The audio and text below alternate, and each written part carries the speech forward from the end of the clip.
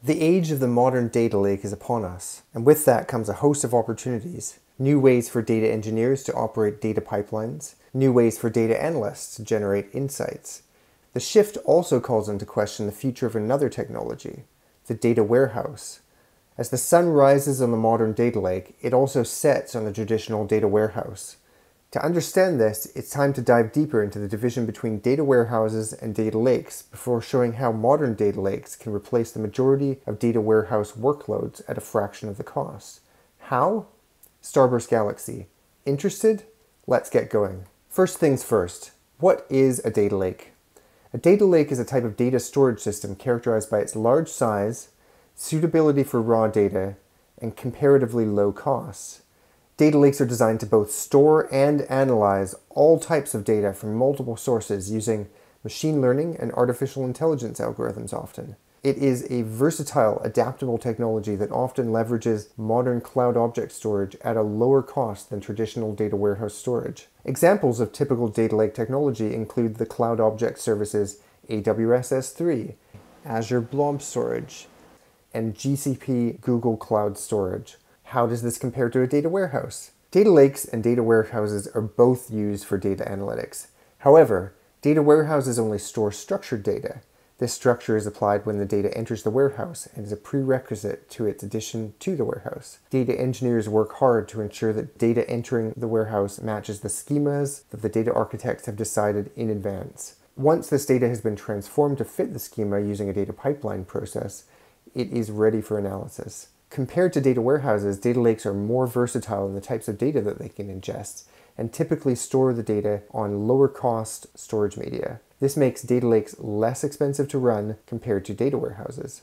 What are the disadvantages of a data warehouse? Data warehouses are both expensive and lack versatility compared to data lakes. They're only efficient for structured data in cases where the structure of that data does not change and is known well in advance. Using a data warehouse for unstructured data or data that changes often is highly inefficient, and even in the most efficient usage, data warehouses are always, always expensive. How do data lakes store and access data differently?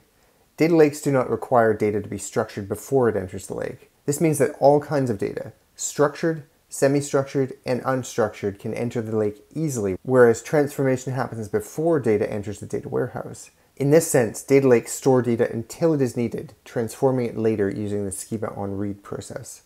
What are modern data lakes? Modern data lakes, also called data lakehouses, make use of modern table formats to deliver superior features not found on traditional data lakes. This includes table formats like Iceberg, Delta Lake, and Hudi, and allows for features like ACID compliance, schema evolution, partition evolution, and time travel. Starburst Galaxy makes connecting to modern data lakes and querying them easy, and this means that accessing all the advanced features is also easy. Connect easily, save immediately. Using Starburst Galaxy, a data lake is not treated any differently from other data sources. This means that you can get all of the advantages of a data lake, including significant cost savings compared to data warehouses, just as easily as connecting to a new data warehouse. Federate and save. Data lakes are versatile and can handle many workloads, but data warehouses might still be the right choice for a certain subset of structured data. In these cases, Starburst Galaxy's built-in federation capabilities let users house a small amount of data in a data warehouse and hold the rest of it in an inexpensive cloud object storage. Starburst Galaxy's federation capabilities allow data from multiple data sources to be accessed from a single point, as if they were a single source. While users might start out thinking that a data warehouse is a significant requirement, many users find that this can be reduced over time while using a lake. We like to call this the lake plus one or in and around the lake strategy. All of this means that there's a new center of gravity in the data world, the modern data lake, powered by an open table format like Iceberg and accessed from a single point of access like Starburst Galaxy.